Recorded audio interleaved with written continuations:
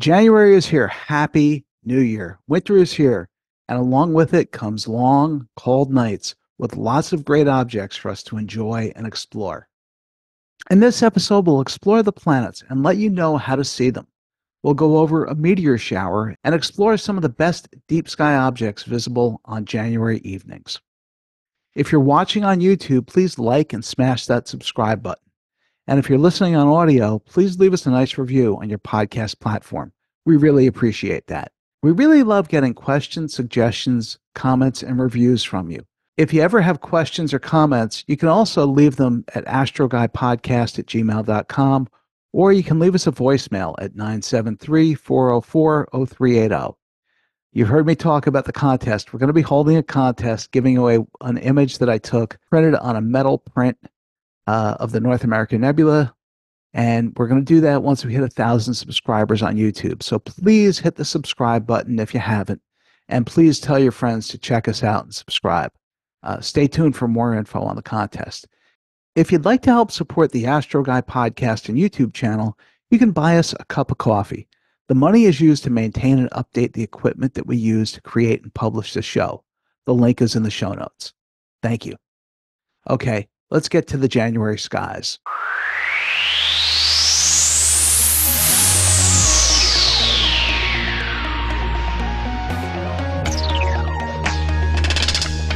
Welcome to the Astro Guy podcast. I'm not an expert, I'm an amateur like you. I'm here to learn and here to teach. So let's enjoy the ride together. Carpe Noctem, seize the night.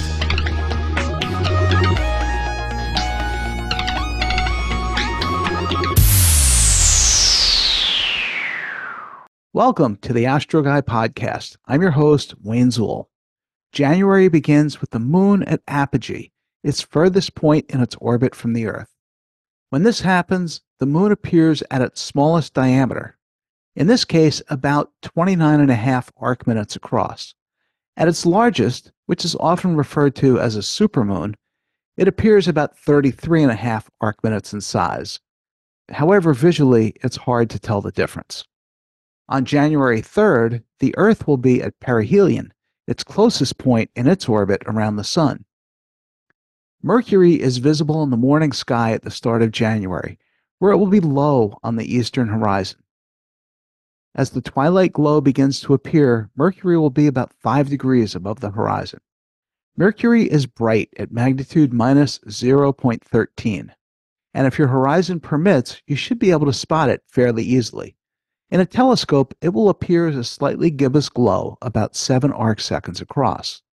On the morning of the 9th, the very thin waning crescent moon will be about 9 degrees southwest of Mercury. Binoculars will definitely help you spot the thin crescent moon. Venus will form a right triangle with the moon and Mercury that morning. On the morning of the 27th, you might be able to spot Mercury only a quarter of a degree away from Mars, just above the eastern horizon. You'll need an excellent horizon and binoculars to pick the pair out of the twilight glow. While Mercury will be visible all month long in the morning sky, it will be very low on the horizon. Venus is still ruling the morning skies in January, but it's beginning to appear lower on the horizon each morning. On the 1st, Venus shines at magnitude minus 4, and at 6:30 a.m. it appears about 18 degrees above the horizon. The planet shows a 78% illuminated gibbous phase and spans about 14 arc seconds in diameter. By the end of the month, Venus will have dimmed slightly to magnitude minus 3.9 and will appear to have shrunk to about 12.5 arc seconds across and will appear about 85% illuminated. During February and March, Venus will continue to appear to descend toward the horizon as it nears the Sun from our perspective. It will reappear in the evening skies in the fall, so now is the time to catch it before it disappears in the glow of the sun. On the morning of January 8th, the 11% illuminated crescent moon will appear about 8 degrees southwest of Venus. Binoculars will help you spot the red star Antares about 1.5 degrees east of the moon that morning. This should make for a gorgeous sight. Mars is lost in the glow of the sun all month and won't become easily visible until March. The gas giants are all still visible on January evenings, at least for part of the evening. Jupiter is high in the southeast at the start of the month, shining at magnitude minus 2.58, with the planet's disk spanning almost 44 arc seconds in diameter. Jupiter transits the meridian just before 7:30 p.m. and sets a little after 2 a.m. By the end of the month, Jupiter will have faded to magnitude minus 2.35, with the disk of the planet spanning just under 40 arc seconds. On the 31st, Jupiter transits at 5:36 p.m. and sets at 24 minutes after midnight. As you can see, each day Jupiter sets earlier and appears slightly dimmer and smaller. The largest planet in our solar system will continue to grace the evening skies through this winter, but it is starting to fade, so get your Jupiter observations in while you still can. On the evening of the 18th, the 56% illuminated moon will be 3 degrees north of Jupiter. This should be stunning to see. At the beginning of January, Saturn will be low in the southwest at sunset and will be visible for a couple of hours before setting a little before 9 p.m. Saturn will be shining at magnitude 0.96, and the disk of the planet spans 16 arc seconds, but with the rings, it appears to be about 37 arc seconds wide. As the month goes on, Saturn sets earlier each night, and by the end of January, it sets at 7:15 p.m. So if you want to catch it, do it soon as it too will be lost in the glow of the sun until it reemerges in the morning skies in April. On the evening of January 14th, the 16% illuminated waxing crescent moon will be 7 degrees east of Saturn. This is going to be a beautiful sight. Uranus is conveniently placed in Aries and can easily be found between Jupiter and the Pleiades all month long. Uranus can be seen with the naked eye under very dark skies but it's easily spotted with binoculars, even from light polluted skies. Uranus appears small, spanning a little more than 3.5 arc seconds in diameter, and it glows at magnitude 5.7. It will fade slightly as the month goes on, but it really won't be noticeable visually. On the 19th, you can glimpse the 70% illuminated waxing gibbous moon 4 degrees north of Uranus. Neptune begins January high in the south southeastern sky as the sun sets. It's in the constellation Pisces, and it is faint at magnitude 7.8. You'll need binoculars or a telescope to spot this distant world. The bluish disk of the planet only spans about two arc seconds across, so you'll need steady seeing and higher magnification to see it as anything more than a bluish star. At the start of January, Neptune sets at 10:48 p.m. But by the end of the month, it sets before 9 p.m. Next month, Neptune will get lost in the glow of the sun. So now's your chance to catch it in the evening skies until much later in the year. The moon makes appearances near the planet most months, but our moon also appears near other objects as well. On January 20th, the moon will be 5 degrees east of M45, the Pleiades star cluster. On the evening of the 22nd, the moon will be 3.5 degrees north of the open cluster M35. See our December 2023 episode to learn about M35 and how to find it. On the 25th, the nearly full moon will be 4 degrees southeast of the Beehive cluster, M44. The moon is bright, but with a telescope or binoculars, you can spot these objects near the moon. On the morning of January 8th, for observers in the western part of the United States, if the weather cooperates, you might be able to witness the moon passing in front of the bright star Antares. The occultation begins at 5:35 a.m. West Coast time. On January 4th, the annual Quadrantids meteor shower will peak. The best chances of catching any meteors will be before the moon rises around midnight. This isn't the best year for the Quadrantids, but with luck, you might catch a few. All right, that was a lot for the solar system this month. Let's do something a little bit different and take a look at some of the best double stars that can be observed on January evenings. Double stars and multiple stars are fun objects. They have the advantage of not being impacted as much as, say, nebulae due to light pollution. Additionally, many double and multiple stars can be seen with just binoculars or a small telescope. Large aperture and dark skies aren't as necessary with stars compared with extended deep sky objects. So let's explore some of the best together. We'll begin our tour in the western skies with a double star that is best seen during the summer months, but it's still easy to spot in the west just after darkness falls. However, it sets a couple hours after sunset, so you'll want to catch it early. Let's explore Beta Cygni, which is commonly referred to as Albireo. Locating Albireo is easy, as it's the star marking the head of the swan in Cygnus. It can also be spotted as the bottom star in the Northern Cross asterism. Albireo glows at magnitude 3.35 and in a telescope shows two gorgeous components, one blue and the other gold. The two components are separated by about one arc minute, making them easy to split in a telescope or in most binoculars. The pair is about 420 light years away from us. This is one of the most striking double stars in the entire night sky.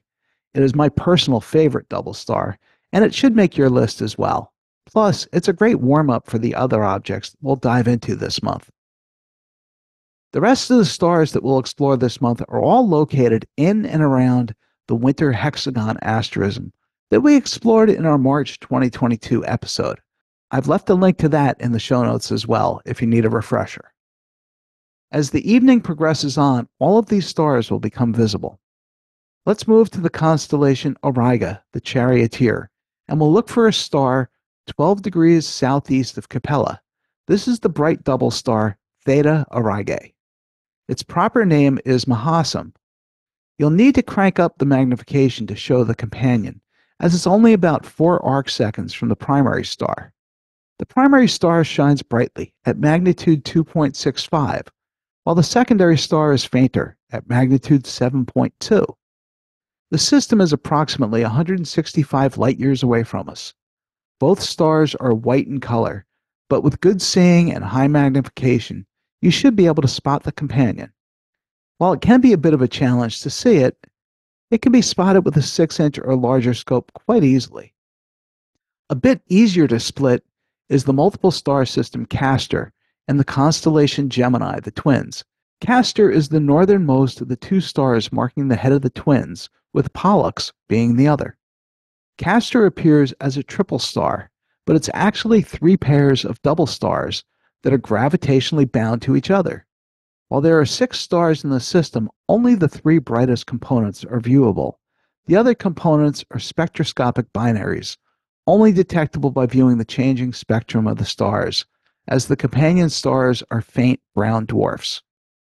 Castor glows brightly at magnitude 1.6, Component A is listed at magnitude 1.3, while component B is listed at magnitude 2.97. Component C is magnitude 9.9, which can be challenging to spot. However, A and B are pretty easy to see. The distance from A to C is 72 arcseconds, while Castor A and B appear about 6 arcseconds apart. This system is located a mere 51 light years away from us. The brightest star in the night sky, Sirius in Canis Major, is also a double star. However, it can be a bit of a challenge to split as its companion star is pretty faint. Sirius is one of the closest stars to us at a distance of only 8.6 light years. Sirius A is known as the dog star, and its companion, Sirius B, is called the pup. While Sirius A shines brilliantly at magnitude minus 1.46, the pup glows dimly at magnitude 8.44, making Sirius A appear about 25,000 times brighter than the pup. This is where the difficulty in spotting it comes. Fortunately for us, the pair are currently at their furthest apart in their 50 year orbit. So the pup is about 11 arc seconds away from Sirius A. You can split the pair with binoculars, but it's very difficult to do. A telescope will make the task a lot easier. Moving Sirius A just out of the field may help you spot the pup. It's definitely worth a try, as it's fun, and it's practically a neighbor as far as stars go.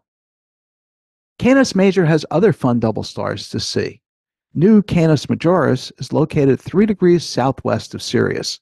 This system glows with a combined magnitude of 5.7, about the same brightness as the planet Uranus. The brighter star appears yellowish, and the fainter companion is white glowing at magnitude 7.4. The two stars appear separated by about 17 arc seconds, making them easy to spot in almost any telescope. Taurus is famous for its large star clusters like the Hyades and the Pleiades, but it's also home to some fun doubles. Let's take a look at Struve 559, which is easy to locate between Aldebaran and Ain, or Epsilon Tauri. Glowing at magnitude 6.9, you can spot the pair in binoculars, but it's going to be hard to split it. While not very bright, both components are 7th magnitude and are separated by only 3 arc seconds. So this one will hold up well to higher magnifications. Our last object on this month's tour is the beautiful star that marks the foot of Orion the Hunter. Listed at magnitude 0.15, Rigel is actually a triple star system. Rigel A is a blue supergiant that glows at magnitude 0.15, while its two companions, B and C, are listed at a combined magnitude of 6.8 and are separated from A by approximately 9 arc seconds, making the pair easy to split in most telescopes. B and C orbit about each other, and the pair orbits around Rigel A. B and C take 67 years to complete one orbit around each other, while the BC system takes 24,000 years to complete one orbit around Rigel A. I do hope that you'll go after these objects and that they become favorites of yours as well. Well, that's all for this month. Thank you so much for tuning in, and I hope that you found our time together to be fun and helpful. If you have questions or episode suggestions, please email us at astroguypodcast at gmail.com or leave us a text or a voicemail at 973 404 0380. If you're not already a member, please join the Astro Guy podcast group on Facebook. You'll find other members, videos, blogs, and lots of other useful information there for your enjoyment. You can also visit our YouTube channel, the Astro Guy Podcast, for past episodes and other surprises. Please subscribe. Please consider leaving us a review on your podcast platform. It helps us to get new listeners. Thank you again for listening, and may your skies be clear. As always, Carpe Noctem, seize the night.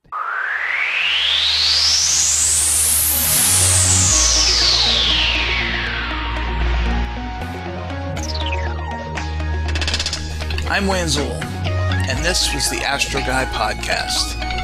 Thank you for listening.